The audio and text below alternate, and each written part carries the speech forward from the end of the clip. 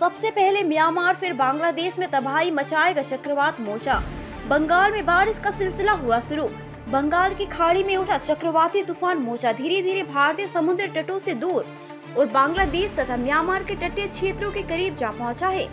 रविवार को मौसम विभाग की ओर से जारी बयान में बताया गया है कि सुबह तीन बजे के करीब चक्रवात भारतीय समुद्र तट पोर्ट ब्लेयर से 750 किलोमीटर दूर उत्तर पश्चिम में जा पहुँचा है, जबकि बांग्लादेश के कॉक्स बाज़ार से महज 350 किलोमीटर और म्यांमार के स्थित समुद्र तट से महज 260 किलोमीटर दक्षिण पश्चिम में अवस्थित है। यहाँ 18 किलोमीटर प्रति घंटे की रफ्तार से आगे बढ़ रहा है और समुद्र तट पर लैंडफॉल के समय इसकी अधिकतम गति 210 किलोमीटर प्रति घंटा हो सकती है, जिसकी वजह से जान माल के भारी नुकसान की आशंका है। सबसे पहले चक्रवात म्यांमार के समुद्र तट पर लैंडफॉल करेगा, जिसके बाद बांग्लादेश के कोक बाज़ार तट पर टकराएगा इसके प्रभाव से पहले से ही।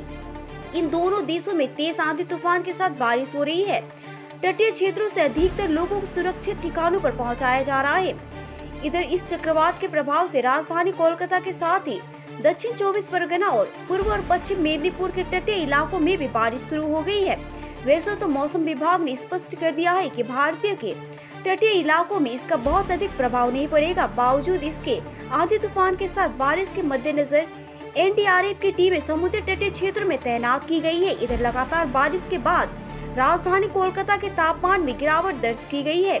एक दिन पहले रिकॉर्डेड डाटा के मुताबिक अधिकतम तापमान महज 33.9 डिग्री सेल्सियस है, जो सामान्य से दो डिग्री कम है, जबकि न्यूनतम तापमान 27.3 डिग्री सेल्सियस है। मौसम विभाग ने बताया कि आज भी आसमान में बादल छाए हुए हैं और हल्की बारिश जारी रहेगी जिससे लोगों को गर्मी से राहत मिलेगी ঝড়ের আতঙ্কতা তো শুনছি ঠিক আছে তারপরে তো ঝড়ের পূর্বাভাস দেখছি ওয়েদারও খুবই খারাপ জলও মোটামুটি ক্ষেত্রে জোয়ারের ভাবও খুবই জলও খুবই মোটামুটি ক্ষেত্রে হালকা ধরনের বাড়ছেও ঠিক আছে এই এখানে ঝড়- এইসব দোকান দোকানদানি এই মোটামুটি ক্ষেত্রে সবাই বন্ধ আছে আমরাও বন্ধ রেখেছি ঝড়ের পূর্বাভাস দেখে ঝড় হবে শুনেই বন্ধ আছে কতটা আতঙ্কিত এই যে?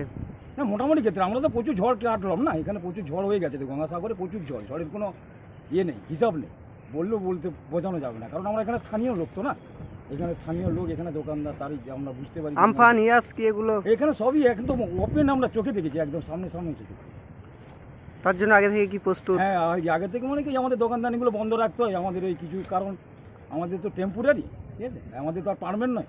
পারমেন্ট নয় টেম্পোরারির মধ্যে খোলানো হয় একটু বানানো হয় আবার যখন সময় ভালো থাকল তখন লাগিয়ে দিলাম এই সময় যখন একটু খারাপ আছে তার জন্য বন্ধ থাকবে আবার। কি নাম আপনার? আমার পলাশ নাই এনডিআরএফ সতর্কতামূলক ওরা এখানে আছেন কারণ ঝড়ের দিক কোন দিকে যাবে তো লাস্ট টাইমে তো যেভাবে আমাদের এখানে ডিপ্লয় সেভাবে ডিপ্লয়মেন্ট করা আছে এবং ওনারাও গ্রামে গ্রামে যাচ্ছেন মানুষের মধ্যে একটা সচেতনতামূলক প্রচারও করে যাচ্ছেন এবং তার সাথে সাথে আমাদেরও কন্ট্রোল রুমের মাধ্যমে আমরাও প্রত্যেকটা জিনিসের উপর মনিটর রাখছি যাতে কোনো রকম কোনো দুর্বল বাঁধ বা অন্য কিছু ইস্যু হলে সেটা সঙ্গে সঙ্গে কনসার্ন ডিপার্টমেন্টের সঙ্গে কথা বলে টেক আপ করছি। আপনারা কি অলরেডি কি মাইকিং করেছেন নাকি? হ্যাঁ আমরা যেসব সমস্ত জিপিকে কন্ট্রোল রুম খোলা আছে এবং তারা মাইকিং করছে এবং সমস্ত ফিশারম্যানদের যাতে ফিরে আসে জন্য পুলিশকেও জানানো আছে এবং আমাদের ফিশারি ডিপার্টমেন্ট তার সাথে সাথে আমাদের ফরেস্ট ডিপার্টমেন্টকেও জানানো আছে।